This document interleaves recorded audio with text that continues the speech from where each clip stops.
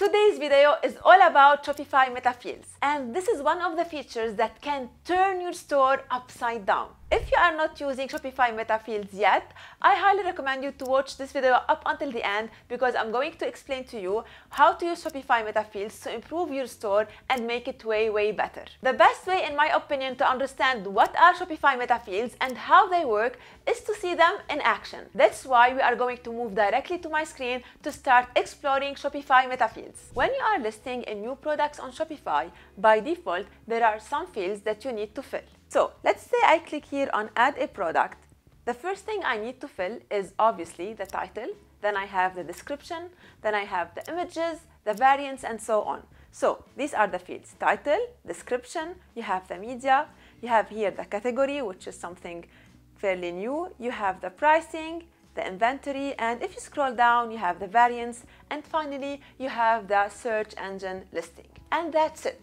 This means that each product on Shopify has those fields as characteristics. For one product, I can have a title A, and for another product, I can have a title B. For one product, I can have a description A, and for another product, I can have a description B. As simple as that. Now, let's imagine a scenario where you want to create a new field for your products. So let's say, for example, you sell clothing, and each of your products has different size chart.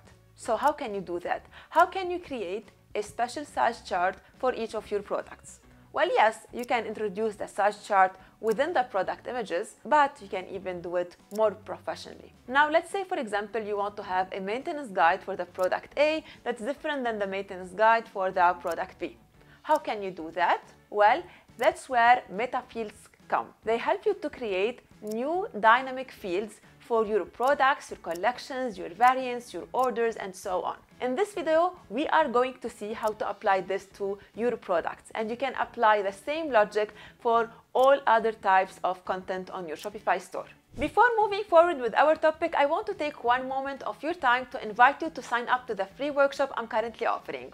In this workshop, I show you the exact framework that you should be applying to your business in order to make it strong and sustainable. I have worked with hundreds of clients and we have applied the same framework for their businesses in order to make them grow and succeed. And believe me, the results were incredible. So I highly recommend you to check this free workshop because it will explain to you everything you need to know about how to build a strong, sustainable e-commerce business. It's totally free. You don't need to pay any dollar. Just go down and sign up and that's it. And now let's get back to our topic. So Back to our product in here, as you can see, these are the fields that we have. The title, description, images, and SEO at the end. I'm going now to create a new field that wasn't there before. So I will go to settings, and from here, I will go to custom data. And as you can see, in here we have a list of places where we can create meta fields. I will start with the products because this is what I care about the most now. Well, those meta fields are here by default. Either they were created by Shopify or by an app, so I'm gonna keep them. I will click on add definition. And in this way, I'm creating a new field within my product page. Wait because you are going to understand everything when we see this in action. So let's name this meta field size chart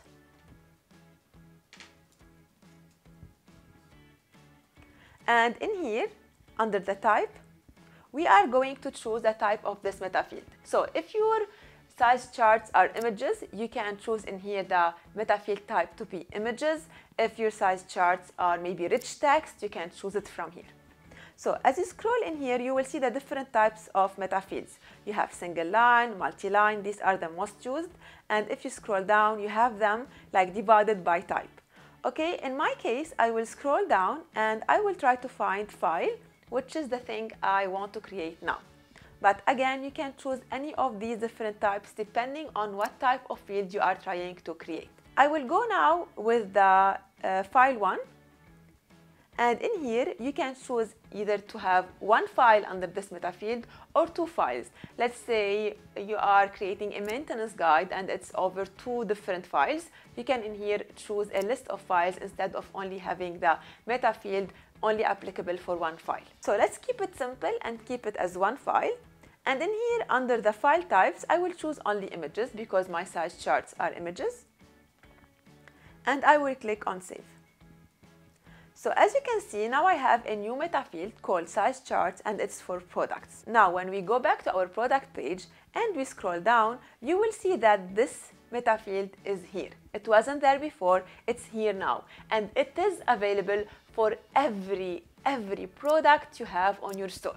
So now you can decide whether to fill or not to fill the size chart for your products. So let's say, for example, you have a yoga store, and in this case, you would need the size charts for your bras and leggings, but you wouldn't need it for the mats, for example. And if you created a dimensions meta field, you would need it for your mats, but you wouldn't need it for your bras and your leggings. So you just need to fill the meta field where it makes sense. For some products, it might not make sense, so you just ignore it. So now I'm going to fill this meta field. What you need to do is to click in here, click on select image and you can select one of the images you have already on store or upload a new one and that's it. You save the product after that. Let's do this on an already existing product on my store. So going to products, I will choose this one for example. I will scroll down and moving to size charts, I will click select image and choose this image to be my size chart and click on save.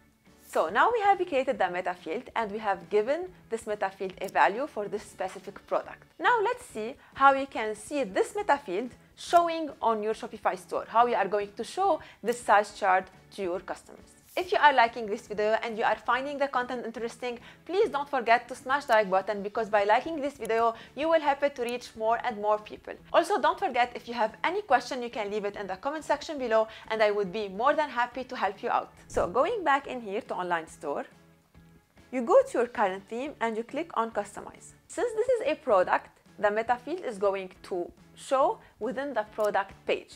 So what you are going to change now is the product page default template. I'm not sure if you know much about product page templates and how to use them, but if you want to know more about this, I highly recommend you to check this video on my YouTube channel. Now, going back to our topic, let's try to modify our default product page template. So from your editor in here, you click on products and you go to the default product. So this is the default product page template. What we are going to do is to insert this meta field that we have just created within this page template. From here on the left, we have the page template sections and we can modify everything about those sections in here.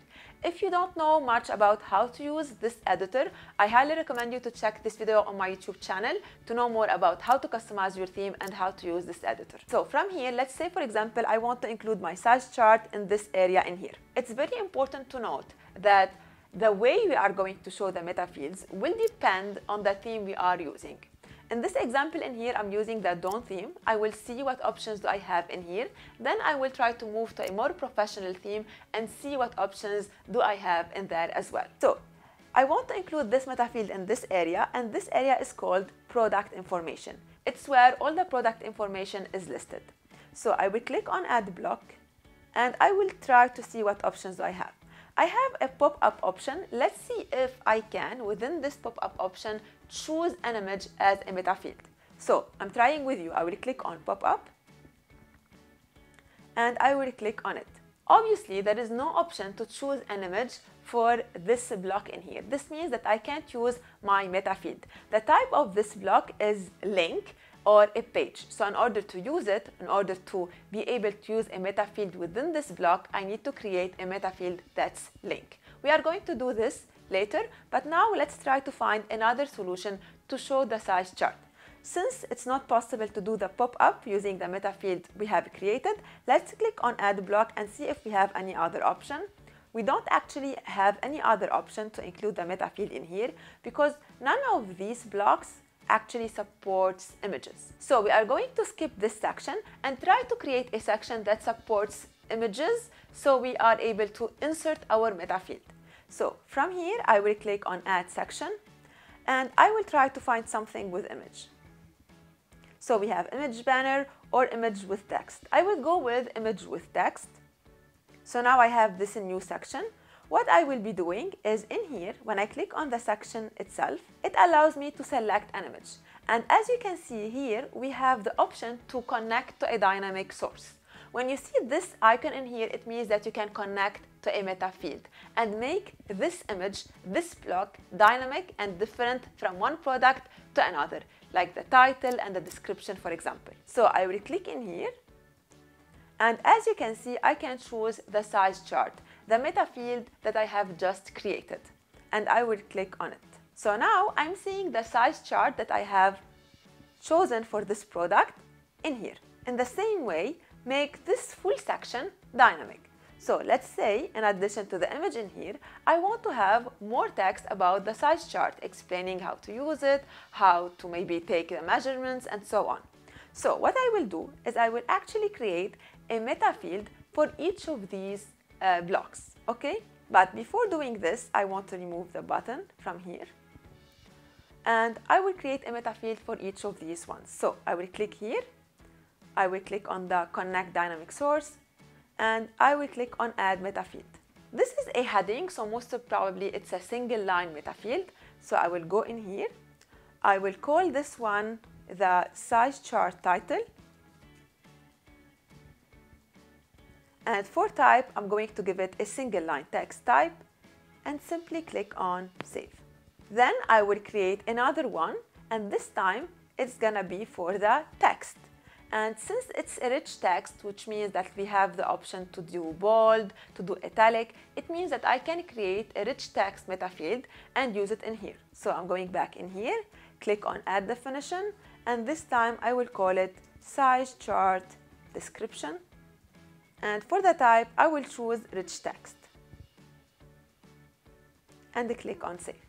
So now I have two new meta fields. If I go back to my product, I can see that I can fill those new meta fields for each of my products. So when I go back to this product and I scroll down, you will see these two new fields in here. For the size chart title, I will type how to take uh, your measurements.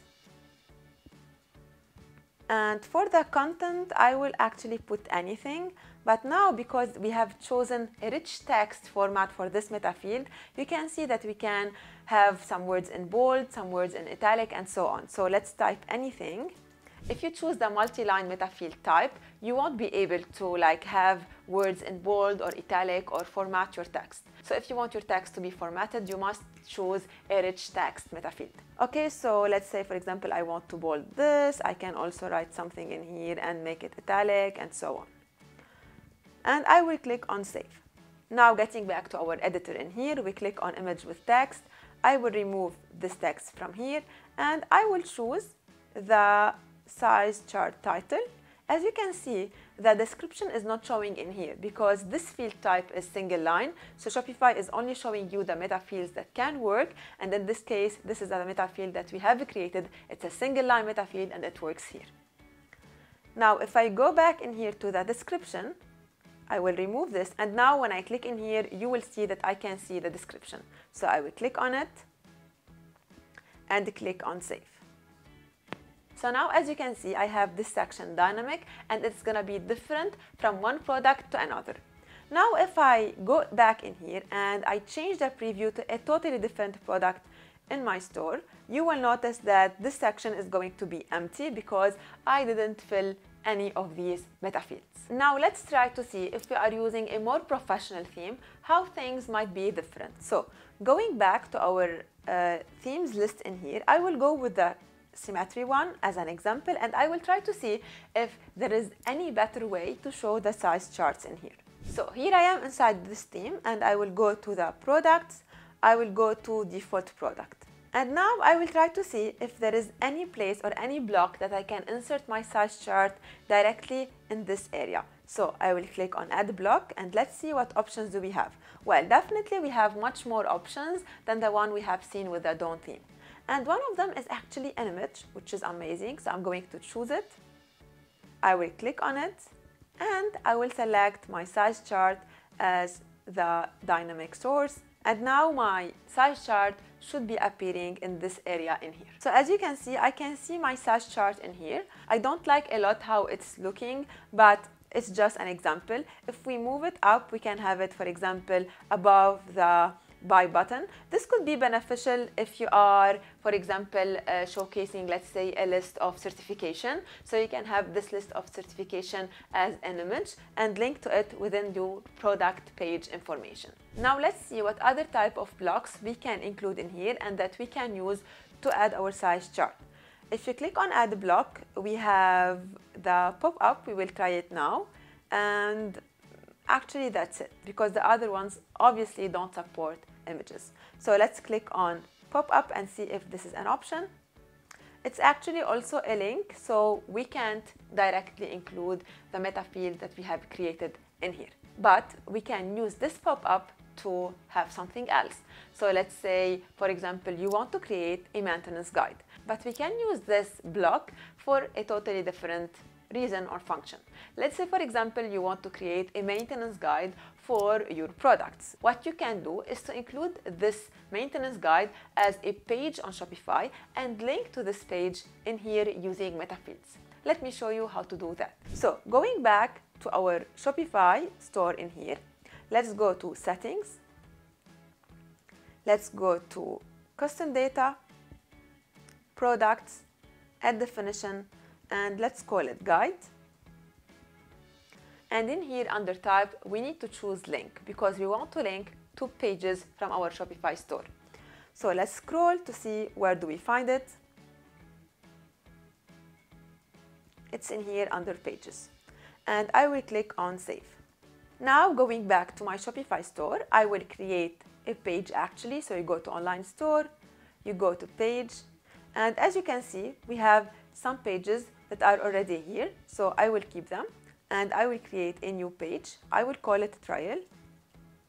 I will include anything within it and click on save. When I go to products and to this product exactly, I scroll down and under guide, I will select the page and save. Now if we go back to our pop-up in here, we can under page either select the page directly or select the meta field in order to make the guide different from one product to another. So I will choose guide and I will change the pop-up text in here to guide and I will place it somewhere above the variant picker. So as you can see, this is my link in here. If I click on guide, the page will pop up. There are infinite ways of how you can use meta fields in order to create dynamic sections on your Shopify store. And the same logic that we have applied to the size chart and the image with text section can be applied to any section on your product page template. Obviously, you have no more reasons to create boring product pages that only show product photos, the title and the prices. Now you can go as creative as you wish, creating as much sections and making them all dynamic in order to show your product information in the best way possible. And in the same way that we have used meta fields for the product pages, you can use them to all different type of content on your Shopify store, collections, orders, pages, and so on. But I really think that product pages are the most essential ones and this is where you are going to use meta fields the most. If you love this video and you are interested about using meta fields, I highly recommend you to check this video next on my YouTube channel. In this video, I show you how you can use meta fields in order to create better filters on your collection pages. So don't forget to check it out. Thank you so much for watching this video and for staying up until the end. I truly appreciate that. Before leaving and if you like this video, don't forget to smash the like button, to subscribe to my channel and to hit the notification bell because in this way you will get notified each time I publish a new video. Thank you again and see you soon. Bye bye.